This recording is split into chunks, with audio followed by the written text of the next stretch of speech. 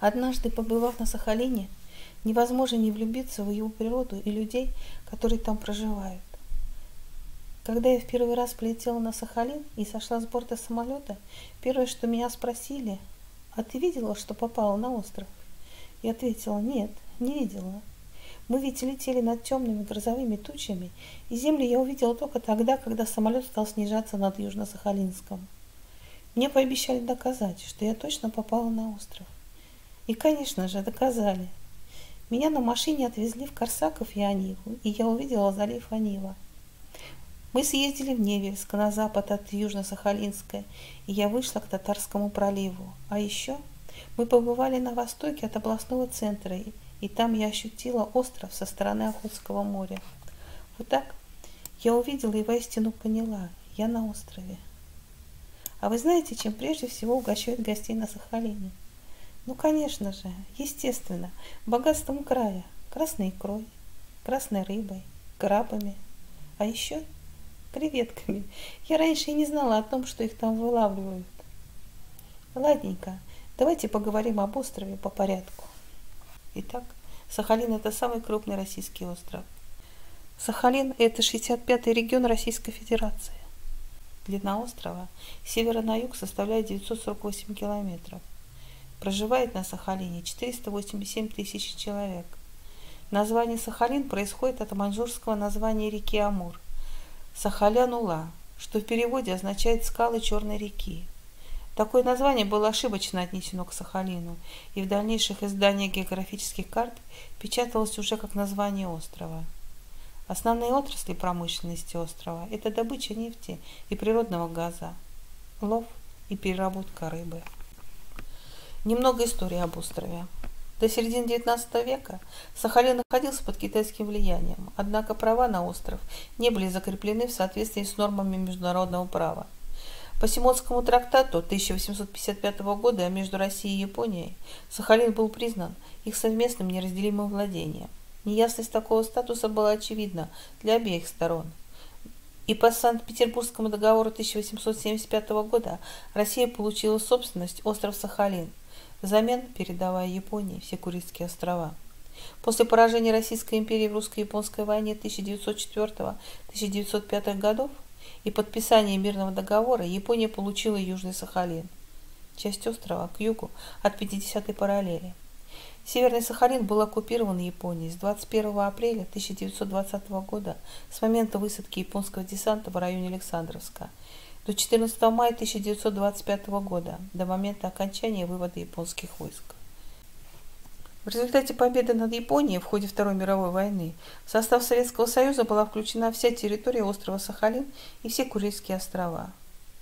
Особо заслуживает внимания история железной дороги Сахалина. Сахалинская железная дорога интересна тем, что на ней необычная для России узкая колея, оставшаяся в наследство от Японии – из-за этого в СССР специально для Сахалина были спроектированы тепловозы. В настоящее время с 2004 года ведутся работы по перешивке железнодорожного пути на стандартную для России колею. Сеть железных дорог общего пользования охватывает большую часть острова.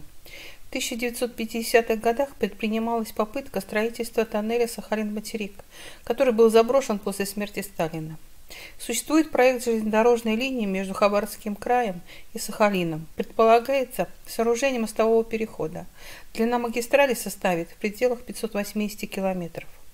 В перспективе предполагается соединение Сахалина с японским островом Хоккайдо. В настоящее время связь между материком и Сахалином осуществляется через паромную переправу. Южно-Сахалинск связан авиасообщением с Москвой, Новосибирском, Хабаровском, Благовещенском и Владивостоком, а также с Японией, Южной Кореей и Китаем.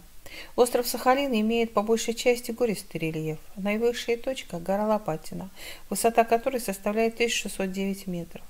Нескончаемые ветра, дожди, туманы, метели, снегопады, повышенная влажность сформировали на острове умеренно муссонный климат, благодаря которому на Сахалине лето короткое и прохладное.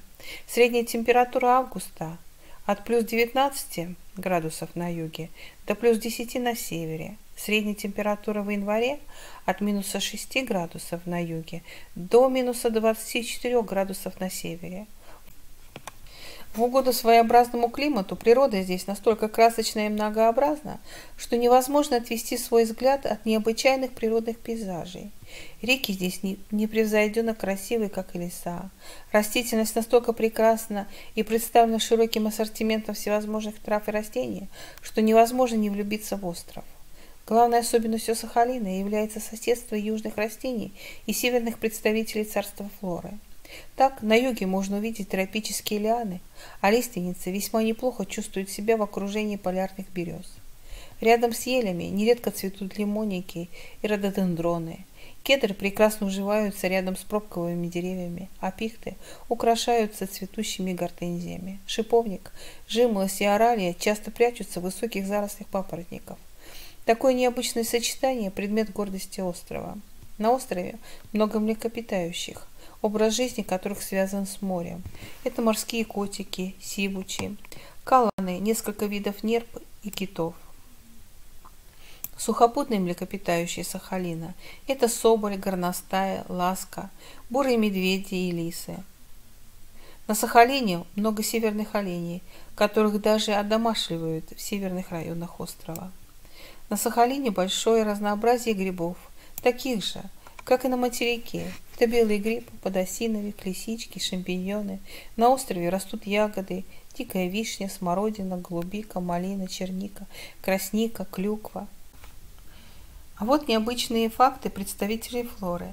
Сахалинский кишмиш – это не дикий виноград, а скорее родственник киви, размерами с черешню, только намного слаще своего сородича – Дальневосточный бамбук – это не стройные высокие побеги, а очень крепкий вьюн, устилающий все открытые места в лесах и на сопках. А вот что еще нужно знать о Сахалине. Сахалинцы называют остальную часть России материком, а почти любую гору – сопкой.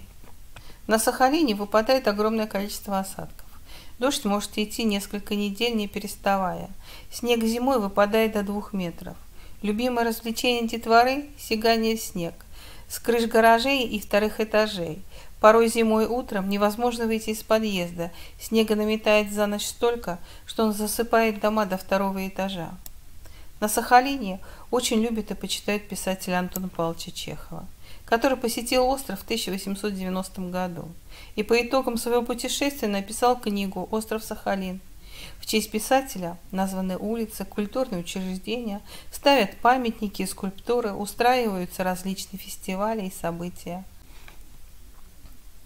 А если говорить о красной рыбе, то ее можно в определенный период года просто собирать руками. Настолько плотным косяком идут на нерест горбуши и кита. Правда, по закону это браконьерство. Государство ограничивает ловлю лосося в период нереста. Выбраться с Сахалина можно только на самолете и на пароме. Зимой из-за погодных условий аэропорты, морские вокзалы могут быть закрыты на несколько дней, в результате чего полностью теряется сообщение с материком, а туристы и жители остаются в плену у острова. А в завершение посмотрите на сахалинский восход солнца. Ведь утро нашей Родины начинается с Сахалина.